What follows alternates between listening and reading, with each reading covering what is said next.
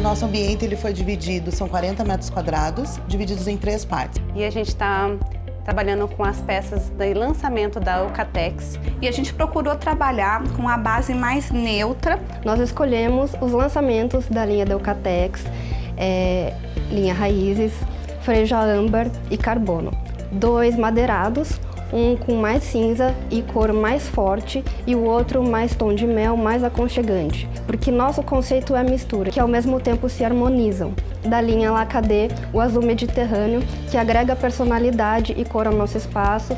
E a gente utilizou as coisas que a gente gosta bastante, valorizando também as formas na, nas texturas. Na porta, por exemplo, a gente usou é, painéis ripados. Para todos os projetos, acho interessante porque a gente usou desde a cozinha, como no quarto, na sala, então super indico a Alcatex.